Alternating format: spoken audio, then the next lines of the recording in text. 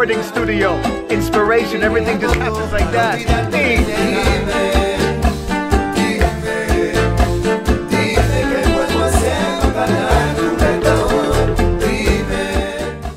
Hola, hola, I'm Josue, the creative director of La Época, and I want to welcome you to this special episode of Universal Salsa. I'm so excited about this particular episode because we're going to be talking about something that is so popular today and age. It's bachata. What is so special about bachata? Sudando por tu cuerpo, me besaste con esos labios.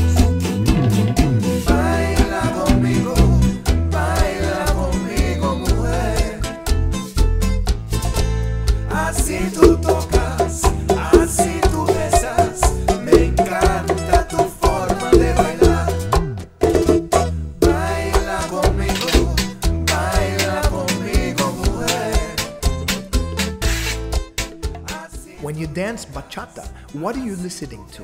What particular instrument are you responding to? Are you responding to the guitars? Are you responding to the vocalist? Are you responding to the piano if there is a piano? Are you responding to the to the bongo? What is your favorite part of bachata?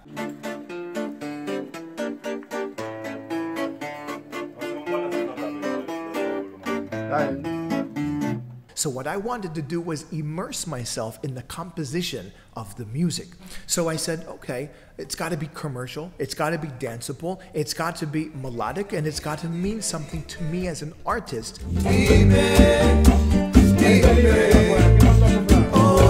Llanto corazón. So, can you imagine my excitement and my happiness when I got to go to Santo Domingo and record with the maestro bachatero Joan Soriano and his amazing musicians? My goodness, the excitement that I felt, the energy that I felt from them.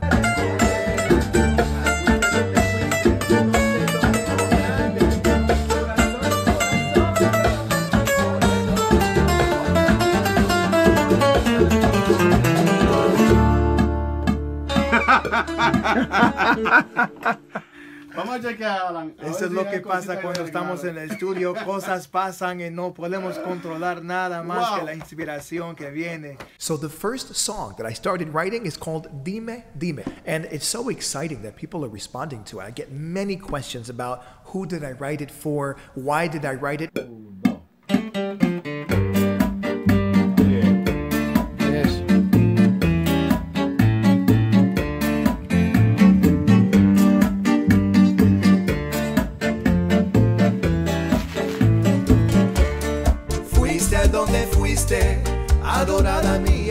The inspiration simply came from a relationship that I used to have when I was in Romania. It was a wonderful lady, and I just wanted to pull from those emotions. Qué lástima que te perdí sin darme cuenta. Oye mi llanto, dime qué hago yo para olvidarte mi nena. Dime, dime. I'm on Facebook Live. It's happening now in Santo Domingo, here in República, República Dominicana, con Joan Soriano. Aquí grabando mi primera bachata. ¡Woo! Ah. Estoy aprendiendo mucho aquí. Mira, mira, bachata, bachata, mira. A mi composición estoy feliz viendo a Joan Soriano bailando a mi bachata. Woo! It's amazing that I would like to share with you the inspiration that as the composer of this music and the professional dancers that when I'm teaching this to my music, you can understand the emotions that I put into it at the moment.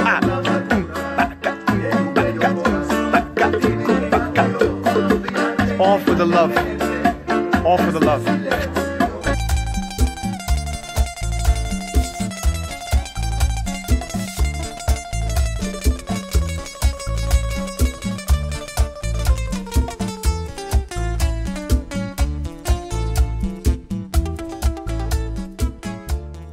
The next bachata that I wrote is called Baila Conmigo. I only wrote it for one purpose to be commercial. I just wanted to see if dancers would be able to relate to it. I wanted to see how dancers would be able to, to express that song. It's the only reason why I wrote that song.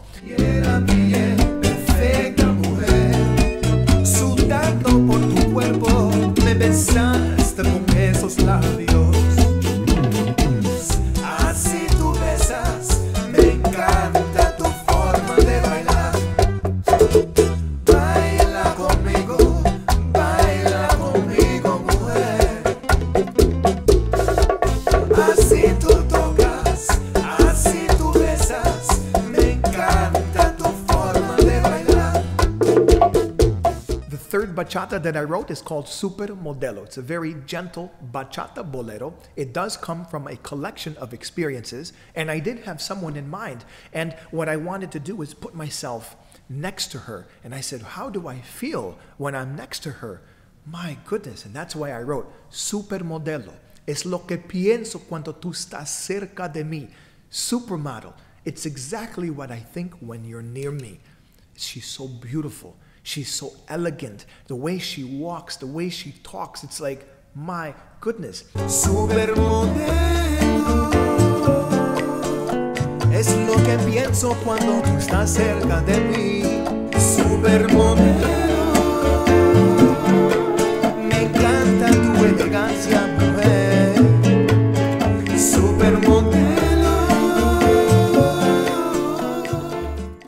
I want to also share with you how exciting and special it was that my beautiful parents, my mother and my father, were able to, to go with me because my father has a long history with Afro Cuban music, and it was so important to me to get that influence in so that every time Joan was, was going into a direction that said strictly bachata and 100% in the Dominicana, and I wanted that, but I wanted to say, wait, let me challenge you a little bit to do something outside of your comfort zone, to do something that's more Afro Cuban. And he was completely open to it, and you can hear that in the music. For example, the breaks that you hear in the music, those are not typical for bachata, those are Afro Cuban breaks because I wanted to keep that. Ah, de nuevo, de nuevo, porque no lo, lo- no lo puse en cámara.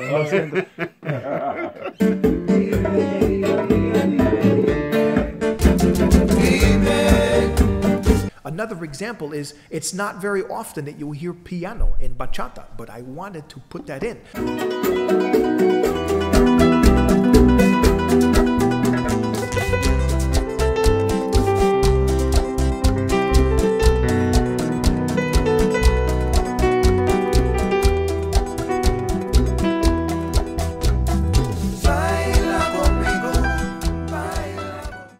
was so exciting for me that I'm able to work with these amazing, these talented musicians and that I'm challenging them.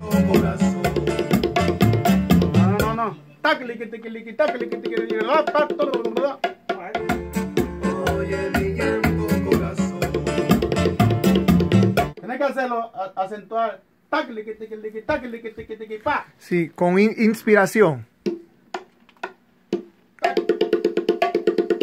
Eso, eso, eso, eso. Oye, mi llanto corazón. Estamos fabricando aquí un baby. Le vamos a hacer un pedacito de son, entonces le estamos haciendo eh, una operación para que suene baby real. ¿Sabe cómo es? Para el son montuno. Tiene todavía muy, muy. Nos vamos a quitarle un poquito de... No, no, eh, eh, es para que está muy.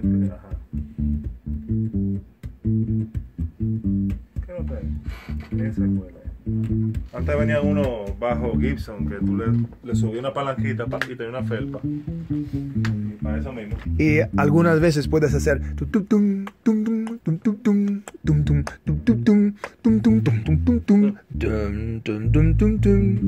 Eso. Algunas veces podemos meter eso. Eso, eso.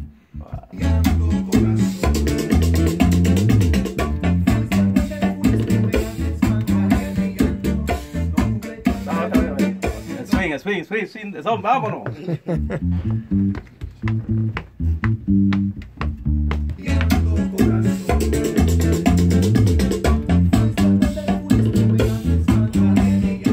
estaba diciendo hace un ratito que la, la nota más corta. Tum, tum. Eso. Exacto, así, exacto. Y después lo, lo puede variar. Sí, sí, sí. sí. Lo de adelante, hágalo así. Al principio debe ser así y entonces sí. Viene.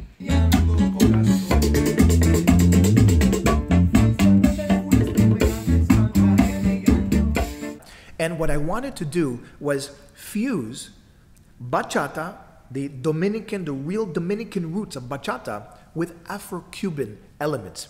The congas, make it a little bit more bolero, put a son montuno in one of the compositions. Esto, this is a son montuno. Él dijo que yo soy primero, eh, que, que yo sepa, que he puesto un son montuno al fin de una bachata. Eso es importante. Eso es importante notar. The first one, I'm the first one to put a son montuno at the end of a bachata. It has never, never been done before. No, And it's wonderful to see eh, these eh, musicians eh, nada más challenged by it. ¿Cómo te sientes, Iván? I am, I am not speaking English. I, am speaking English a little bit. Español, please. Español.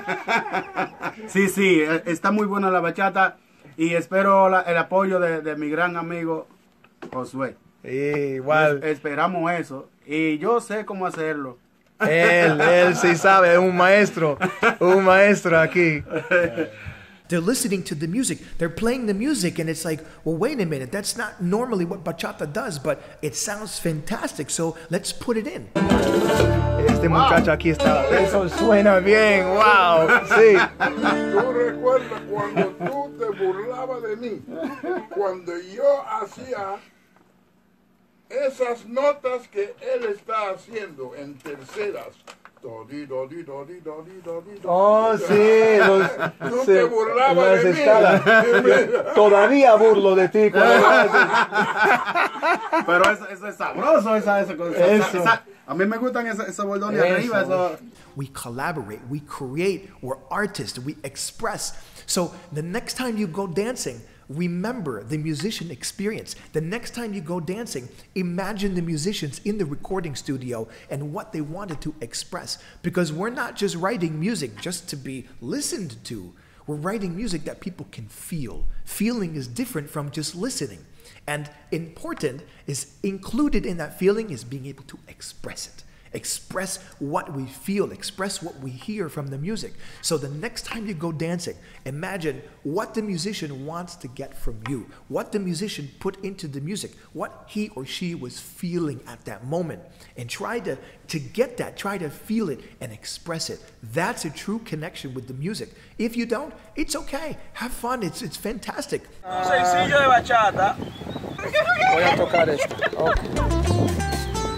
Un aquí en Dominicana se baila así. Créala a ella, no a mí. Ay, papá. Mira bien, aprende. Dime qué hago yo para olvidarte, mi nena. Dime, dime, dime qué puedo hacer para ganar tu perdón. Dime, dime, este silencio es un castigo muy duro.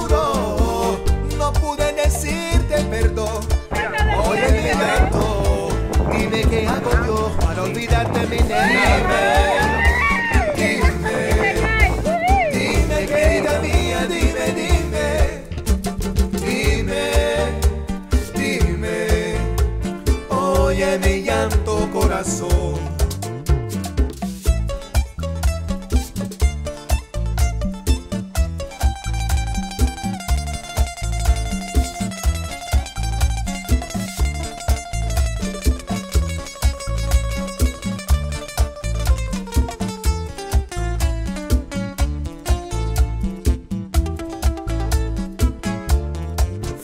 A donde fuiste, adorada mía.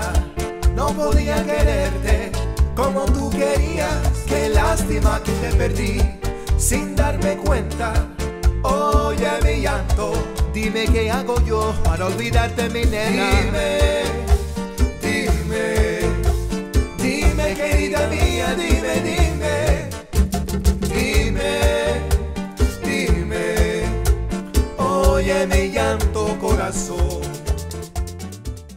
I hope so much that you have enjoyed this special episode of Universal Salsa. Don't forget to follow us on Facebook and go to universalsalsa.xyz because we cover everything from the ABCs to the XYZs of anything related to Afro Cuban music, bachata, kizomba. It's a wonderful world. And visit laepocafilm.com where you're going to find a lot of movies and videos and educational material just for you. Besos.